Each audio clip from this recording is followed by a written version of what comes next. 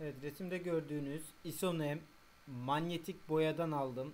Ee, normalde 18 kiloya 6,5 litre su kullanın diyordu.